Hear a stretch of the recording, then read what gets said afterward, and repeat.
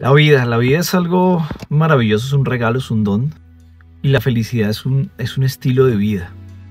No hay como un estado totalmente feliz. Hay picos, la vida es de pico, a veces estás en, en lo alto, a veces de pronto estás down, como dicen. Pero no puedes perder la paz ni la felicidad.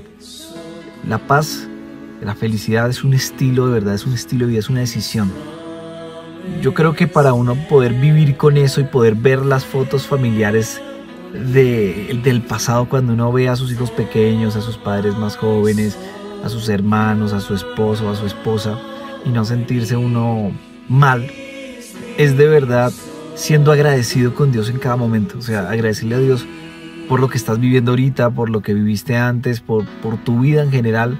Saber que todo proviene de una divina voluntad y eso te trae paz y te trae tranquilidad. Tú sabes que todo, es un continuo amor de Dios, un balance maravilloso. Y cuando tú tienes paz, tienes de verdad eh, gozo en tu corazón, independientemente de las situaciones difíciles, porque como familia tenemos discusiones, peleas en la sociedad y demás, nunca va a ser una vida plana, monótona, sin, sin dificultades, no, al contrario, van a ver en todo. Cuando uno es agradecido, cuando uno realmente valora cada instante, pues uno vive bien. Uno vive bien en la dificultad, en la adversidad, vive bien en, pues, la, cuando todo está perfecto. Y créanme que en los emprendimientos y en la vida normal, eh, eh, en el día a día, vas a tener que vivir momentos difíciles, momentos chéveres, a veces tu negocio o tu familia o tu matrimonio o tu noviazgo o estudio no va como tú quisieras, a veces sientes que no está bien tu relación con tus hijos, etc.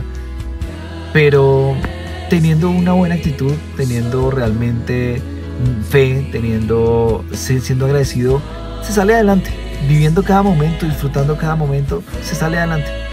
Mi invitación es a que no te rindas, a que agradezcas todos los días, cada instante, cada momento que tienes de la vida, valórala, disfrútala de buena manera sin hacer daño, verdad, eh, dejando un legado, dejando un legado con tu familia, de verdad agradeciéndole a Dios cada instante con ellos y, vas a vivir bien y las cosas se te van a dar. A veces uno como que se frustra por muchas cosas, siente que el mundo se le derrumbó, pero no, siempre se va a salir adelante. Desde que uno tenga tiempo y tenga fe, va a salir adelante de todo.